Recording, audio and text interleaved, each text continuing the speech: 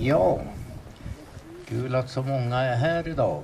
Eh, den här resan har tagit lång tid. Eh, 2001 så funderade jag dels på Kröket, eh, den skidanläggningen som stod stilla sedan flera år tillbaka och på problematiken runt myskoxarna. Och så var jag upp en kväll i hemkröket där och satt och tittade ut över byn, över fjällen. Och så tänkte jag det vore väl märkligt om man inte skulle kunna göra en turistprodukt utav det här.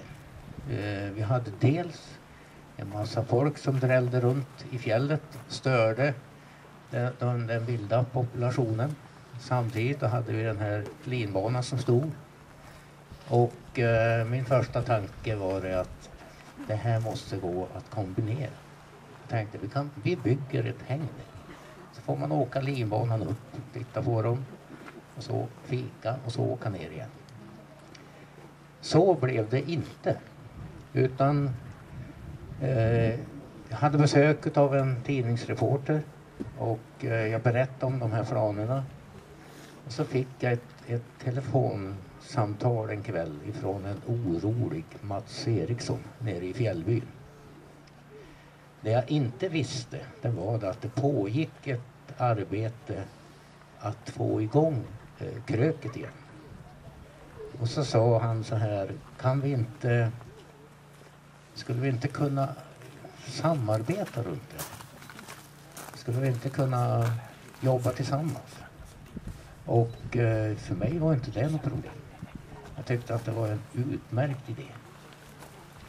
Och så var det. Och eh, vi hade lite träffar med den här projektgruppen då för, som jobbar med eh, Kröket. Och eh, vi sponsrade lite via Tännäs fritidsanläggningar. Vi gjorde en liten förstudie runt. Vi eh, försökte samla alla goda krafter och vi bildade en större grupp tillsammans med eh, de eh, intressen som under många år hade jobbat med eh, myskoxen. Och det var de här herrarna. Och eh, det var flera eh, som var med. Väldigt engagerade människor. Eh, 2002 så var det en tidningsrubrik. Håkan tog en bild och så stod det Gottfrid Jonsson, en mysko-politiker. Ja, det är sådana där eh, rubriker som man får smälta. Men det var bland annat om den här idén. Och eh, sen har det rullat på och många tycker att det har tagit väldigt lång tid. Och det har det gjort. Men jag tycker att det här projektet har varit värt det. Jag har ju tittat på den här anläggningen redan. Jag tycker att de har gjort en fantastiskt fin anläggning. Eh, många har gjort ett väldigt gott jobb.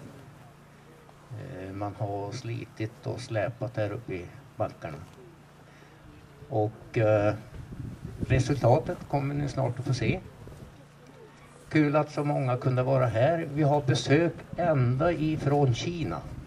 Mr Fang och Mr Wang är här. Och eh, många som är intresserade av den här anläggningen.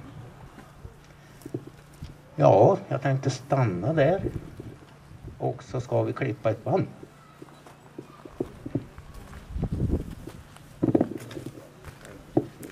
Som av en händelse så får Gottfrid en fårsax att klippa med eftersom myskoxarna är ganska nära släkt med fåren.